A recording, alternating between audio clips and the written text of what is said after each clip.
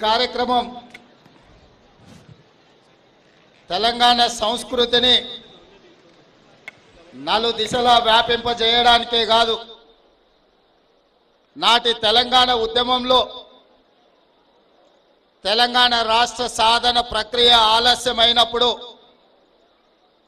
Political జేఏసీని ఏర్పాటు చేయడానికి నా ఉద్దేశంలో ఈ అలై బలై కార్యక్రమమే ఒక స్ఫూర్తిగా మనకు ఉపయోగపడ్డది అని చెప్పి నేను భావిస్తున్నా.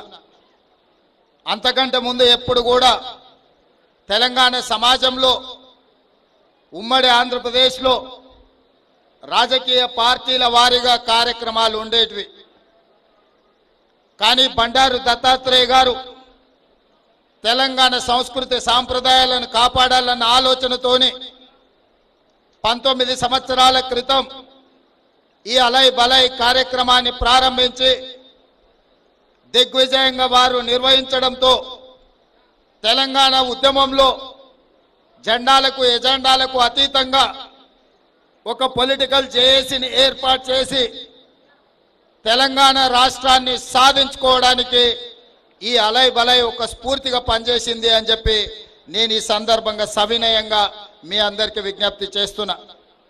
ఆనాడు తెలంగాణ ఉద్- ఉద్యమంలో ఆర్ఎస్ఎస్ నుంచి ఆర్ఎస్యు వరకు కమ్యూనిస్టు నుంచి కాంగ్రెస్ వరకు కుమ్మరి కమ్మరి వడ్రంగి చాకలి మంగలి ముదిరాజ్ సోదరులు అన్ని సామాజిక వర్గాలకు సంబంధించిన వాళ్ళు కార్యోన్ముఖులై తెలంగాణ రాష్ట్ర సాధనలో అందరూ అందు అడుగు ముందుకు వెయ్యడానికి ఈ కార్యక్రమం ఎంతో సహకరించిందని నేను భావిస్తున్నా.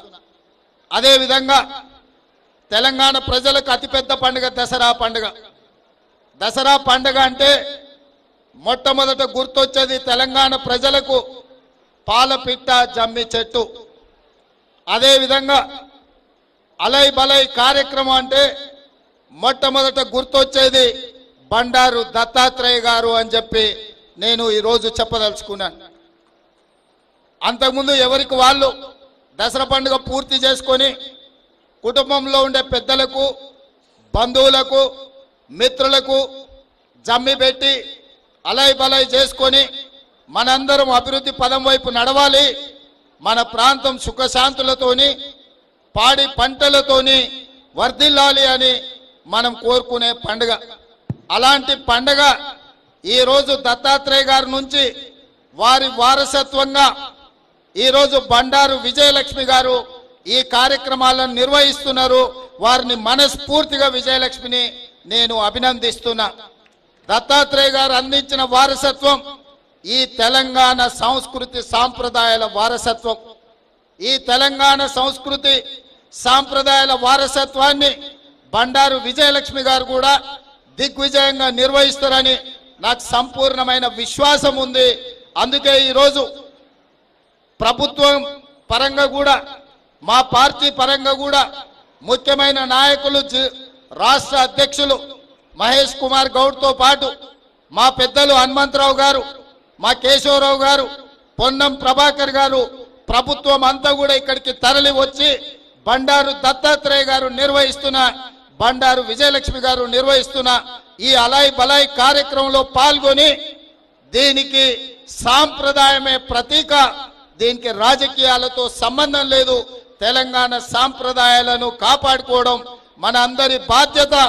ఈ సంస్కృతి సాంప్రదాయాలను నిలబెట్టుకోవాల్సిన అవసరం ఉన్నదని తెలియజేస్తూ ఇంత మంచి కార్యక్రమాన్ని ఏర్పాటు చేసి ఈ వేదిక మీద మన తెలంగాణ గవర్నర్ హర్యానా గవర్నర్గా దత్తన్న రాజస్థాన్ గవర్నర్గా అదేవిధంగా కేంద్ర మంత్రి కిషన్ రెడ్డి గారు ఆంధ్రప్రదేశ్ మంత్రి సత్యకుమార్ గారు తెలంగాణ నుంచి మంత్రులు పార్లమెంట్ సభ్యులు శాసన సభ్యులు కుల సంఘాలకు సంబంధించిన నాయకులు ఎమ్మెల్సీలు ముఖ్యంగా తెలంగాణ కవులు కళాకారులు గోరటి వెంకన్న వందే మాత్రం శ్రీనివాస్ గారు కూడా ఈ కార్యక్రమంలో హాజరై ఈ సంస్కృతిలో మేమందరం ఒక్కటే అనే సందేశాన్ని తెలంగాణ సమాజానికే కాదు ఈ దేశానికి అందించినందుకు వారందరినీ మనస్ఫూర్తిగా అభినందిస్తూ మీ అందరి దగ్గర సెలవు తీసుకుంటున్న ధన్యవాదాలు మిత్రులారా.